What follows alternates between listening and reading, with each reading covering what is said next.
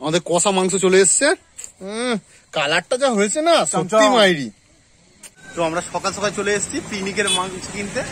মাংসের দোকানে কাকুকে বলে দিয়েছি। তো মাংস থেকে কাকু কাটা স্টার্ট করেছে। চলো মাংস নিয়ে তারপরে ওখানে পিকনিক ওখানে যাব। ওখানে গিয়ে কথা তো মাংস কেনা হয়ে গেল। মাংস কিনে নেওয়ার পরে আমাদের পিকনিক স্পটে চলে এলাম। তো এই ঘরটায় পিকনিক করা হচ্ছে। দাঁড়াও এবার আস্তে আস্তে ভিতরে ঢুকবো। তো এখানে আমাদের পিকনিক করা হচ্ছে ঘরের ভিতরে। আর এখানে আমরা হচ্ছে কি গ্রুপ স্টাডিও করি। আর এই দেখো সাইকেলগুলো দাঁড় করানো আছে এবার ভিতরে ঢুকছে। এই দেখো, এই পিকনিক হচ্ছে। ভানুদা খুব কাজে ব্যস্ত, এখানে আমাদের সুকেন আছে, মৌলি ওখানে হচ্ছে এ করছে, আর জয়ন্ত দাঁড়িয়ে আছে, ওরা সব হচ্ছে গান চালাচ্ছে এখন। আর এই দেখো ফরেন থেকে আমরা এনেছি আলাইকটটাকে নাইজেরিয়া থেকে এসছে? হ্যাঁ? আল- কষাটা গন্ধ, আলু কষা না আলু ঝোল হচ্ছে, বুঝতে পারছি না। ঝাউগাটা হচ্ছে কিন্তু মানে গন্ধটা বার করেছে, সে রাস্তার লোক ছুটে আসবে। কেন, ভানুদা হচ্ছে গিয়ে মানে খুব হচ্ছে কাজে ব্যস্ত আছে আজকে। বন্ধুরা, জায়গাটা দেখো, জায়গাটা খুব সুন্দর। মানে কত সুন্দর ধান ক্ষেত দেখো। আর এই দেখো, দুজন লেট করে এসছে। মানে শেষ বেলায় শেষ বেলায় এসছে। শুধু জায়গাটা দেখো। এই দেখো অসাধারণ জায়গা। শুধু পরিবেশটা দেখো এখানে। এই যে পরিবেশটা দেখো কি সুন্দর। আমাদের টিফিন খাওয়া স্টার্ট হয়ে গেছে। মুড়ি আর আলুর দম আর ডিম সিদ্ধ। ডিম সিদ্ধ করাই আছে আর এটা খাওয়া হয়ে যাচ্ছে।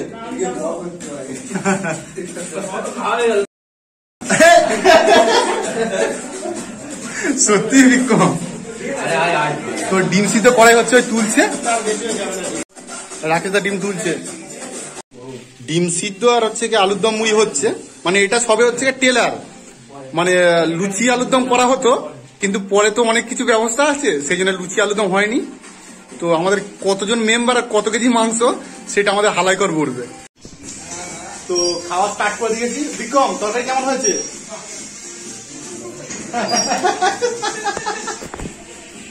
বিক্রম বলবি তো, তোর দাদা রান্না করেছে। ভালো হয়েছে কি বলবি তো? লজ্জা পাচ্ছিস? হ্যাঁ।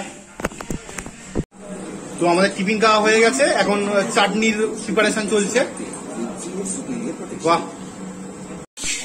বন্ধুরা, এখন আমাদের ফ্রাইড রাইসের জন্য মানে প্রস্তুতি চলছে। চিকেনটা ভাজা হ্যাঁ মিক্স ফ্রাইড রাইস হবে। সেই জন্য তো চিকেনটা ভাজা হয়ে গেছে। এবার ডিম ভাজা হচ্ছে। আর রাকেশ দা প্রিপারেশন নিচ্ছে। তো, রাকেশ দা যে আমাদের লোক সংখ্যা কত গোটা পঁচিশ জন। আর হচ্ছে তাও হবে না। রাকেশ দা হচ্ছে এমনি করে বলছে, একুশ জন হবে। তো একুশ জনের মাংস হলো দশ কেজি। মিক্স ফ্রাইড রাইস আর চিকেন কষা। দাঁড়া মাংসটা দেখাচ্ছি। এই দেখো বন্ধুরা এই হলো মাংসর কোয়ান্টিটি দশ কেজি মাংস আর ওখানে দেখো ওখানে ওই ডিমের যে ভুজিয়াটা করে নেয় মিক্স ফ্রাইড রাইসের জন্য আর চিকেন হচ্ছে যেটা ভেজে নেওয়া হয় সেটা সবজি করে রেখেছে চাল এই। একুশ জন লোক পঁচিশ পাঁচ কেজি চাল আর আর হচ্ছে দশ কেজি মাংস। মাংসটা বেশ কালারটা হেভি এসছে। আহ, কালারটা দেখো। এবার কষাটা খাব আমরা। টবক করে ফুটছে আমাদের কষা মাংস চলে এসছে। কালারটা যা হয়েছে না সত্যি মাইরি।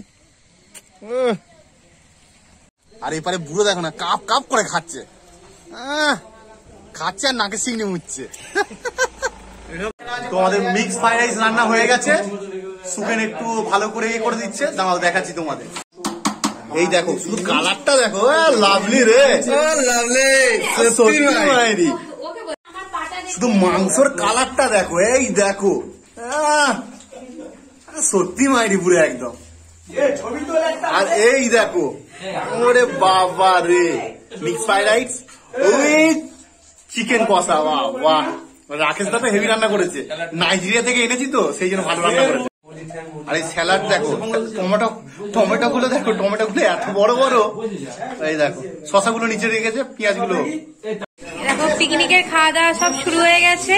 তো আমাদের মেনুতে আছে fried mix fried rice salad আর চিকেনটা একটু দেখাও সুগেন।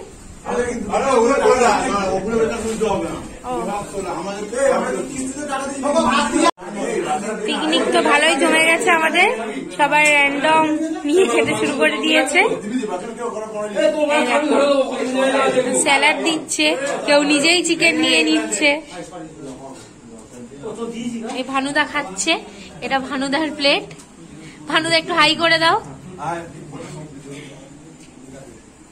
এটা নকুলদার মুখ আর এটা তো থালা।